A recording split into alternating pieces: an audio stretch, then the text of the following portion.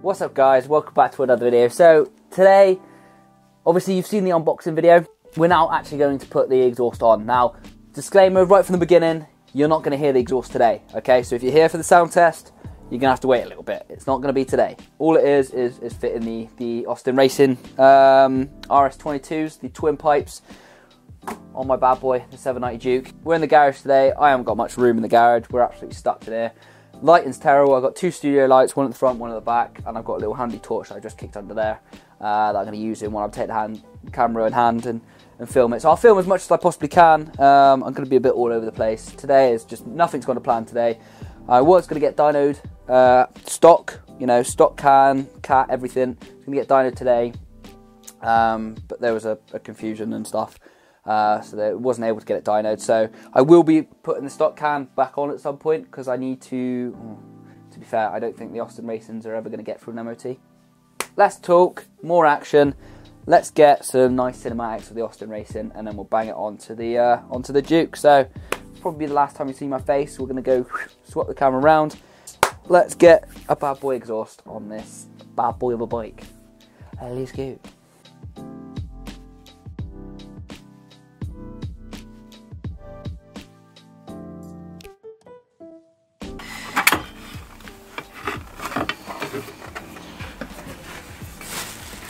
That weighs a ton.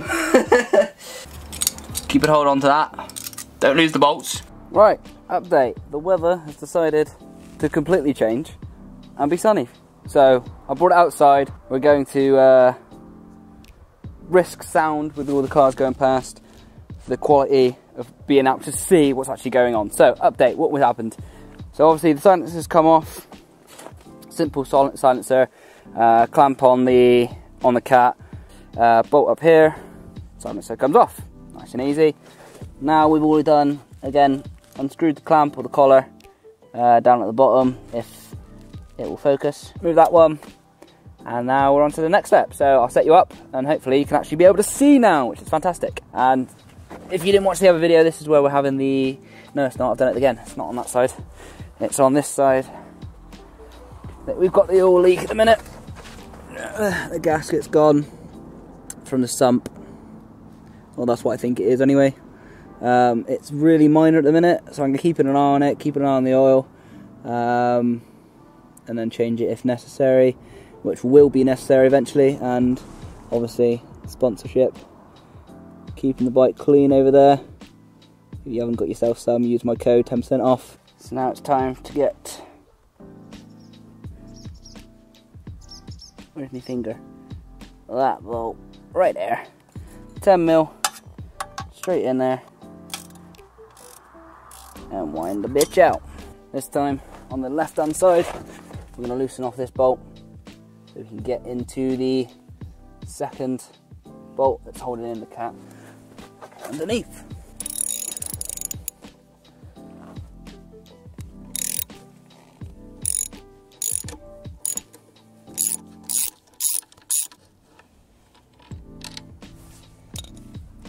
Always wear gloves as well. So there we go. Next, the second one, top of there. Get a 19 mil, looks better. Not sure where the uh, camera cut out there, but 19 mil on the second nut, second bolt up there. Loosen them off. Move the foot peg out the way, out the, out the way. Um, don't let it hit the, the engine case, put some cloth there and stuff. Next, we want to get this front, front sprocket cover out of the way uh, so we can get to the other bolts. So, a couple of screws or bolts, let's get them out.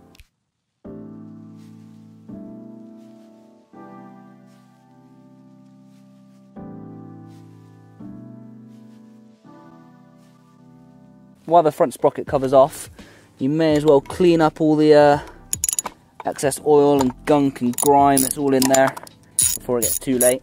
You never know when you're going to change it again.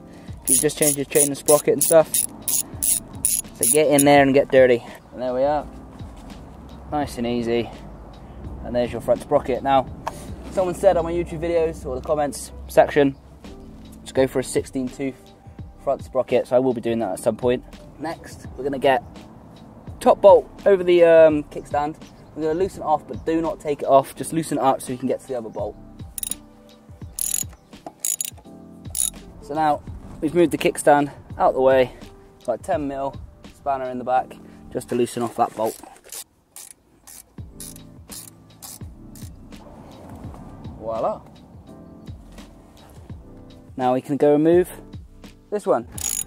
Loosen that bitch off. While you're taking all this off, you might as well get it clean. Keep it clean where you can't normally get to while you're doing all this. Just keeps your bike tip-top condition. Said it about four times, it's just worth doing. And with a bit of shimmy shammying back and forth, you may scratch the back of your uh, the swing arm where the cat fits. Um, I did slightly just from, you know, got to go back and forward and up and down and all sorts. Um, see if you can see in there, it probably won't focus. Um, that's your cat. Once he's out, he's out. Alright then, so all the rest of the footage got corrupted. So I haven't got the bike now, I'm just doing off the off the camera. But basically, uh, where we left off was we took the cat out.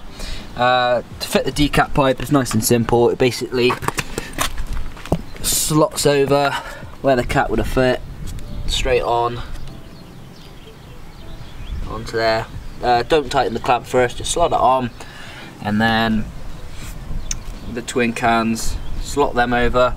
You'll uh, you'll have some little adjusters so you can fit the foot, pe foot pegs as well. Um, everything bolts on nice and nice and easily, and then chuck the springs on, and then tighten up the uh, the clamp. But that is how it all looks. It's pretty straightforward from, from where we left off anyway. It's all just um, fitting the, the the exhausts. You might find it a bit fiddly with the, um, the spaces we did. I had to have someone come as well because getting a tool to fit if my shadow would get out of the way um, to find a tool to get into there which was not neat not, not nice but they were the bolts come uh, the kit comes with um, some Allen key bolts to replace it, which is nice and easy because I've got one for those. Um, which I'll throw that clip in anyway um, at the end of this. But yeah, they I've uh, I've just come back from a ride, and God they're loud, but they sound fantastic. So make sure you are subscribed so you can see all the rest of the videos of those pipes, how badass they are. So all you have to do now fit the airbox mod, uh, a new air filter, and then eventually some, ten, some titanium headers from Austin Racing as well. Oh, and the um, which the fuel module as well. Get them on.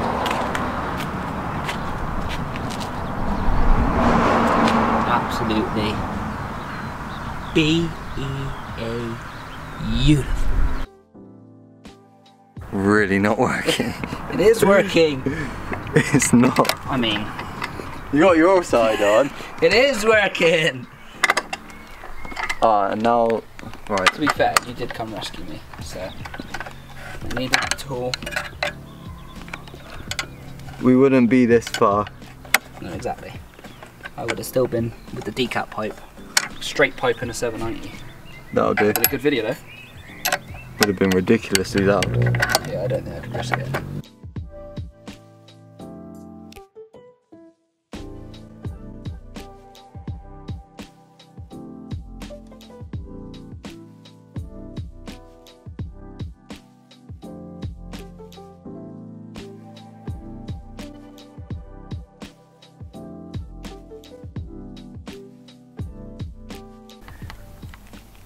227 grams for that thing. This weighs absolutely nothing.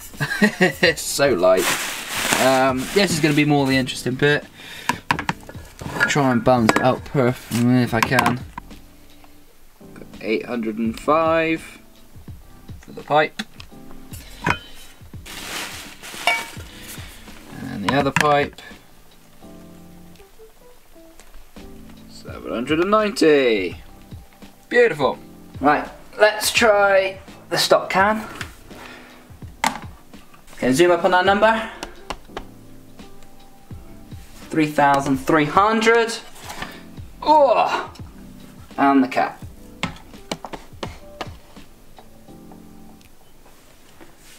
2,730. Let's just check. Let's go again.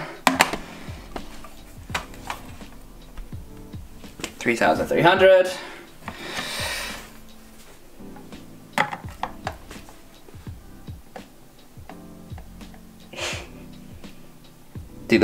thirty. Thirty. so on screen now, because I can't do quick maths, is how much we've already saved plus the lithium battery and everything else.